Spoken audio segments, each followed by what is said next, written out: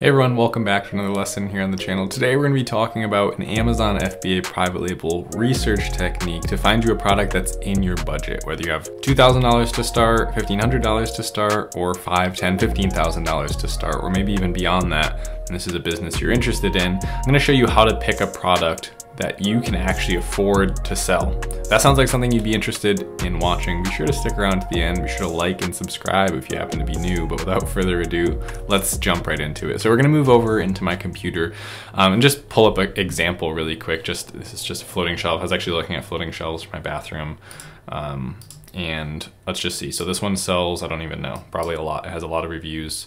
Yeah, so three, um, 4,000 sales per month, right? So this brings me to a really good point that a lot of, uh, a big trap a lot of new sellers fall into is that they see this, they, they get persuaded by all these YouTubers and everyone's saying, oh, I make $40,000 per month, I make $80,000 per month, I only sell two products, they both do $30,000 a month. It's like, just, you have to get out of that frame of mind of making every single product this six figure per year product okay? Because that's just unrealistic and it's really getting in your way of actually succeeding with this business model.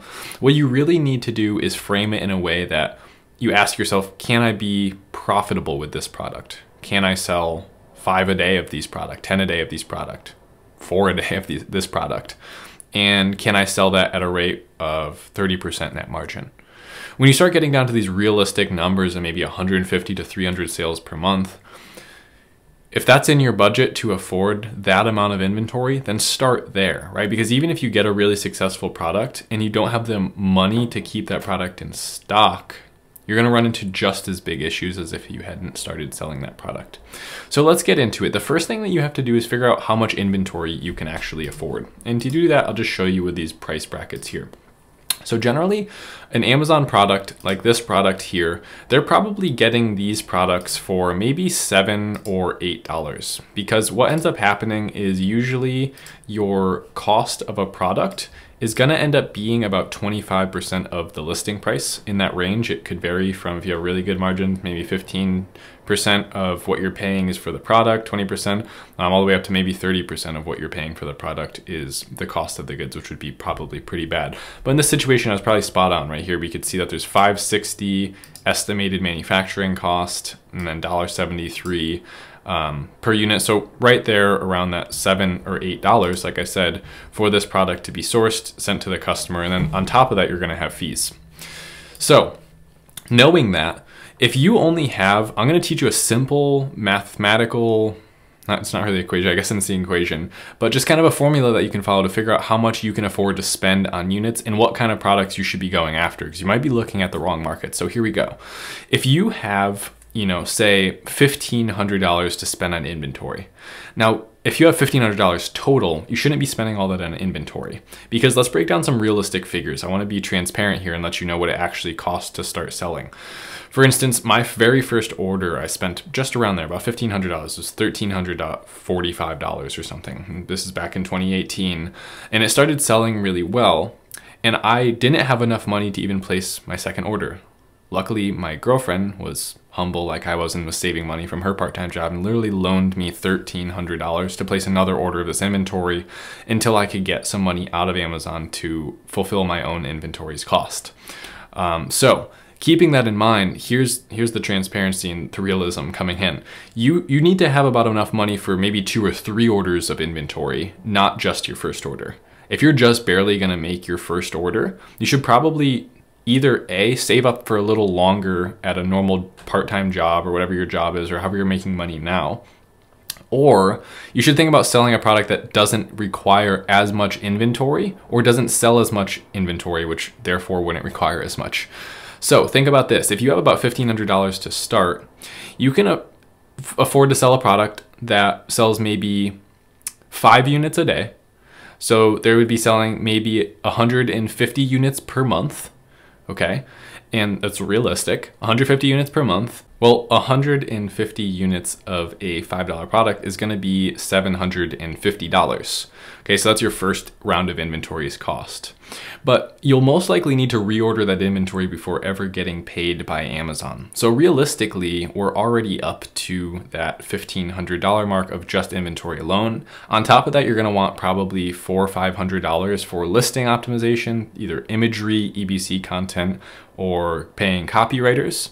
Um, in addition to that, you're gonna wanna have several hundred dollars set aside for advertising your product to get it launched, right? So realistically, to order a product, and this is where people just aren't looking at it the right way. To order a product that sells even a five units a day, you're probably gonna need anywhere from 15, $1,500 at the minimum if you're just covering your inventory. Technically, you could do it, um, but more like around 2,000, 2,200. You don't ever want to be really strapped for cash in this business model. It private label is a cash intensive business model. You need to have capital. Um, in order for this to work. So now that you kind of understand that equation, you can use that no matter what your budget is. So I did that with that 1,500 to $2,000 budget range, which a lot of you may have.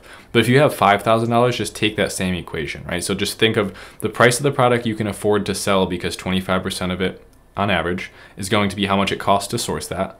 And then if they're selling five to 10 a day, make sure you can keep that in stock for 60 days or so. So with all that being said, why don't we start looking for a product like what we've just discussed. We're gonna imply a budget of what we discussed earlier, that $2,000 range budget, affording a product that sells about five a day. And now, no matter what your budget is, even if it's 10,000, you could take the same principle and continue watching this video and learn how to pick something that's within your budget as well.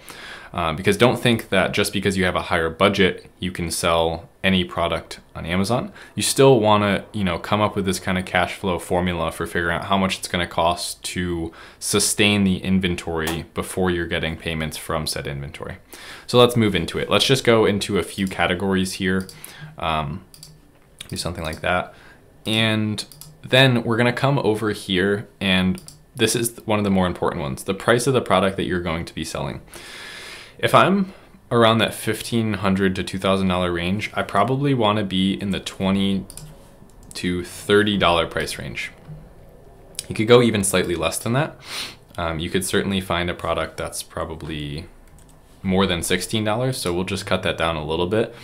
Um, but that that you should be able to afford something in that range with that amount of money. It's it's just a matter of how many are they selling per month. Well, if it's twenty dollars and they're selling um, you know, a thousand per month, you probably won't be able to keep that in stock. But if they're selling 150 per month, you'll be okay. Then we'll just come down to sales, minimum sales. Uh, I want to see that there's about probably, I'll go with as low as 125. Because again, remember, in this case, I might even go 90. Uh, because three to five a day. So if we max the sales out at maybe we can only afford uh, max sales per month to be around 200 so that'll have us right in that 150 units sold per month range and that three to six units per day sold um, for this lower budget. Now, again, you with a higher budget, you'll know after doing what we did in the beginning that you're just adjust adjusting this for you. So if you can afford two months worth of inventory of something that sells 300 a month, then you might want to start with 250 here and go all the way up to 600 or 700 for your amount you could sell per month. Um, we're not going to uh, adjust revenue because if there's a price range between 16 and 30 and they're selling 19 to 200 per month, that revenue will be just fine. And then we're going to come up here into max reviews and I'm okay with seeing a little bit higher max reviews. Maybe I'll go like 185. Um, just because if there's something fundamentally flawed with the listing, I've seen plenty of listings that have 185 reviews that have just one picture, minimal bullet points, no description, they sell $5,000 in revenue a month. So it's definitely something that it's it's it used to be this whole big thing like when I started learning that you have to sell something that has low reviews. I don't necessarily believe that's true. Um, I've even said that in the past because I did think it was true until I dropped some of that conviction and really started testing uh, what actually works. Um, so now we can come down here and we could hit search. So I'm simply gonna look through here for ideas that I like. And if you've seen anything from me in the past few days, you'll know that really what you should be doing now is coming up with a list of maybe 20 or 30 ideas before you ever even go and try and analyze things. Um, just for the sake of this video, if we do find something that pops out to me, I might go and take a look at the market and see how it's doing. Um, but I, I ideally what you would be doing now is once you figured out what you can kind of afford, you'd keep looking and you just kind of look at products that pop out to you or interest you and you would go and save those to your own personal list or you can add them to your product tracker. Uh, make a big list, maybe 40 or 50 ideas, get the idea finding part out of the way, and then move on to analyzation later. Um, so as we're looking through here, I'm really just looking for, um, okay, blank leather bracelets for crafts. They sell about three a day at $22. They have a 62,000 sales rank.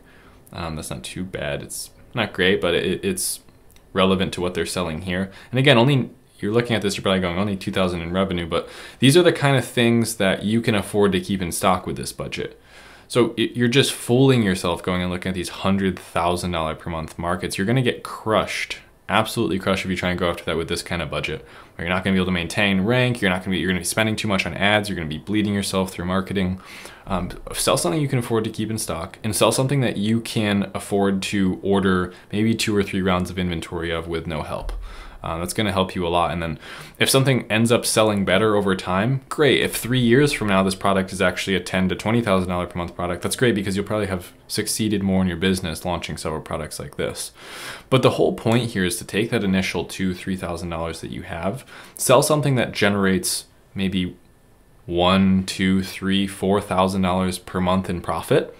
Um, in this situation, maybe only a thousand to fifteen hundred dollars per month in profit, but start compounding that, right? Keep earning money on your own. Keep doing this as a side hustle until that one to 3,000 builds per month into, and again, another little pile of $3,000. Then you could go do your next product. Then that compounds. Now you're launching twice as fast. And that's kind of the slower approach you have to take when you have a lower budget. So we'll come in here, um, look through some of these, the cabinet handles. Okay, there's a lot of cabinet handles that I'm seeing that looks like kind of a popular product. They're small, they're easy to ship. Uh, let's go check out these leather bracelets because this product may be only doing, um, you know, three sales a day. But that's okay. If we could come in, we could do a better listing. We could listen to some of the customer reviews. We can improve it a little bit. Maybe we could sell three to five a day and that might be okay for our budget with this margin, right? They're, they're just selling leather with buttons on them for $22. So let's go ahead and let's do blank leather bracelets. It looks like their main search term. And I don't just want to look at this one listing. I want to look at pretty much everything. One thing you should do before that, just see how consistently this seller has been selling from the amount of time they've been selling. So they've been selling for almost two years, about um, 20 months and they've only got 64 reviews. I think we can do a lot better than that. Um, they also have had a really hard time ever doing better than they have done in the last, uh, looks like three months here. It's really taking them a while. It's just an unoptimized seller. They probably just threw the thing up on Amazon with a bunch of variations and it's just taking them ever for forever for them to sell. They don't have a great listing. They don't have good copywriting. Um, so there's a lot we can improve about this. So that's really what you want to do. Did I put black? No, blank. Blank leather bracelets. Maybe you have to put like four crafts. Was that a key part of it? I know this is not like an optimized search term, but I'm going to use this because it'll probably bring us to a much closer market. So we come in here and I, I mean, they're pretty much unparalleled. They have very little competition. So this might be an area where we can go, okay, if if there's only four or five sellers selling this thing, they all sell maybe two, three thousand, four thousand in revenue per month. Uh, I think I can afford to make a better listing for this, put it up, and then I'll be actually selling a product that I can afford to sell. No, I'm not saying this is a perfect market. I don't. I'm not actually seeing too much, um, too many other sellers doing it. I usually like to see a few sellers doing it, not just one seller. One seller is okay, but if there's a few sellers doing it, we can see a commonality amongst what's working and what isn't, and then come to a conclusion about what we should do in said market. So ideally, you would keep coming through here, and we have tons of different results here. We have 684 pages pages of results. Um, what, what, I'll sometimes do is I'll, I'll, come up here and I'll do like um, 15 reviews or so. And then I'll sort by reviews down here. If we come in here and do that, check this out. Sort by reviews, low to high. And we'll be looking at all those ones about 15 reviews. I like 15 because if you're in that like 1 to 10 review range, you might be doing giveaways, you might be just launching, and the sales might be inflated. That 15, 20, 30 range minimum, we start to see, you know, maybe it's been a month since they launched, two months since they launched, what's actually happening. So we're just gonna look through here and already you can see there's a much better mix of products. It's not just like all wigs and bands and cabinet handles. As you sort a certain way, you might get different results. Um, and if you're seeing that, for instance, some of these revenues are a little too low compared to this, maybe maybe you have a bigger budget than this, and you're going, oh, some of those aren't really uh, the kind of products I want to sell. It's really easy. You could just come up here. You could adjust the price. Maybe you only want to see a minimum of twenty dollar products, and you're okay with seeing uh, 110 sales per month if you can afford to do so. So we come in here, we'd readjust and that would just raise the average of how much everything is selling in there if you weren't comfortable seeing some of those lower ones. Now we don't see any thousand, we see mostly three to 5,000 in revenue. And this is, I, I, hope to bring some realism here to um, the Amazon FBA world because there's a lot of people talking about how to make $50,000 per month, but very few people talking about how to make $1,000 per month. And I think $50,000 per month for most people is hardly achievable and it's just this goal that's just this dream out in the distance. But when we say, hey, here's how to make a thousand dollars per month, utilizing the one to two thousand dollars you have right now, leveraging it into twelve thousand dollars per year. Well, that doesn't sound super sexy or super cool or awesome, and you're not gonna be buying a supercar with that. Um, but it could get you out of what you're doing now and more focused on this and doing this full time. So let's come through here and let's just look for a couple more ideas. Um, so we have a bathroom vanity light. Probably wouldn't want to do anything electric for our first product. Um, I hate how small the pictures have gotten. um, okay, keep looking. What is that pots and pan organizer? Scrapbook refill page protectors. A hundred count. They are $25. They sell five a day and they only have they have 185 reviews, but that main picture does not look too appealing. Maybe we'll open that in a new tab and we'll go check that in a little bit. Um, but first, I'd, I'd like to grab a couple good ideas first. Bill money detector. Okay, that doesn't seem too good. There's tons of different products in that market. Um, I wouldn't want something electronic that was unreliable or liability issues. We'll keep coming through here and we'll look, what are these? These are canvas wall art, peer into a field. Um, so anything that's art is kind of hard to sell. Hanging shelf, hang closet shelves reviews. Oh, we have the reviews sorted the wrong way. That's why everything has 185. Makes sense. We'll come back in here and now, now I'll start looking. Um, and like I said, it's, it's okay to see the ones that have 185. Solid brass doorstop. I actually like that. That looks cool. So they sell five a day, making 4,000 per month, almost a $30 product cost or price. Um, that's pretty good. I like that. Come through here. What is this? Stretch canvas art frames. Gotham Black. Okay, we'll check that out too. Generally pretty simple products, but things that could use improvements, so not things that are so simple that there's nothing to do to them, are things that I'm generally interested in. So we'll come through here, maybe we'll open up a couple more. We'll, we'll do a little bit of a longer video today. I haven't done a kind of longer video. Some of you have been requesting uh, more in depth, more detailed, just getting a, a peek inside how I do stuff on a day-to-day -day basis here. I thought what better theme than how to pick a product that you can actually afford to sell because that's a big hurdle for a lot of people. Um, wall-mounted decorative hanging shelf. We'll definitely open that. I love the hanging shelf market. There's so many different options you can do there. And in that market, every individual design is an opportunity. It's not just the market as a whole that you're looking at. Face steamer, don't want to burn anyone. Um, some of those can malfunction, that's not good. Definitely don't want a product that's pointing hot steam at someone's face. Okay, a adjustable book stand. There's probably a lot of those just out of common sense. There's probably a lot of products. It's like a tablet accessory, so I probably wouldn't do that uh, based on what they had in there. I know it's called a book stand, but keep looking through here. And then we'll, if we, once we get to the bottom of this blanket, we'll, we'll actually, to the bottom of this blanket, um, the bottom of this page, we will actually go look at the ones we've already opened now. Wall mounted coat rack. Again, probably really competitive, probably a lot of coat racks. What is this? Plate hangers, I've never heard of that. They're selling 157 a month, doing 3,000 in revenue. I think that's something that we could probably afford to sell. Come in here. What is this? Desktop bookshelf, that's really cool. Selling 100 a month, 30 bucks, 3,000. Okay, now we're, now we're really moving. Let's look through here. Once we get to the bottom of this, like I said, we'll, we'll go check out the ones that we actually have set up. Come in here. Acrylic paint, no, definitely not. And once we get to the bottom of this, let's see. Definitely not anything trendy like face mask. anti-haze filter. Again, face mask accessories, no thank you. Great, so now we're actually done with this. And to be officially done with it, I actually like to just close it down and start analyzation. Now, if you had 20 ideas, I might do that. If you're still looking, uh, in this case, you probably would want more than just you know, six, seven ideas like we have here, but let's take a look. We have six because that one we already looked at. So this here, scrapbook refill page protectors. So I wanted to take a look at their, uh, I almost feel like that should be their main image. This is like a light lifestyle infographic. It's an infographic, not lifestyle, but yeah, the listing's pretty good. I, I thought it was going to be bad because of how they had this first picture. It's so against EOS, it's not even funny. Um, these could definitely use a facelift. The bullet points here are not super detailed. Um, they've been selling for 200 days. Their reviews have been completely organic. And here's something really cool to see. So they didn't even have a review for like the first three weeks they were selling. That probably means they just launched with sponsored ads, did it the normal way, and they were immediately selling well. Okay, so I mean, I know that's March of, is that last year? Oh, that's this year. Uh, wow, we're, we're pretty far along in this year. That always happens somehow. They went out of stock with no reviews. They got their first review actually while they were out of stock. They came back in stock immediately, started selling well again, went out of stock, FC transfer maybe, came back in stock, and you, I could just see this with the sales rank here. Every time that they have this product live, it's selling really well.